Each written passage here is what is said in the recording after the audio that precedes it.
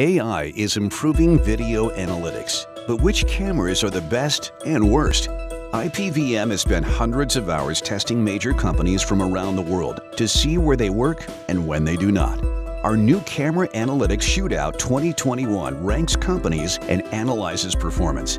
In the past year, many new camera analytics were released, including Axis's first deep learning analytics, new AI from Hanwha, new generations from Dahua and Hikvision, and analytics from VSaaS startups Ava, Verkada, and Rhombus.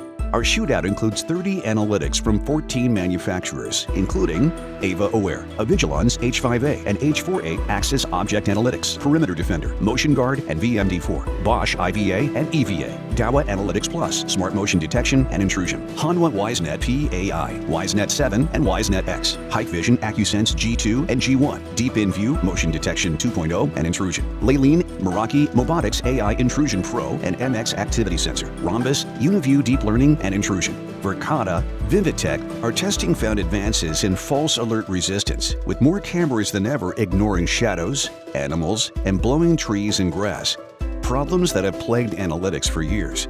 And in addition to simply detecting, once rare advanced features are now more common, including detailed metadata like color, clothing, direction, speed, multi-camera tracking, unusual activity detection, and more. However, a number of manufacturers clearly outperformed, and some lagged badly, with one major entrant losing ground. Read IPVM's Full Camera Analytics Shootout 2021 report for rankings, examples, and detailed analysis to see what to use and what to avoid.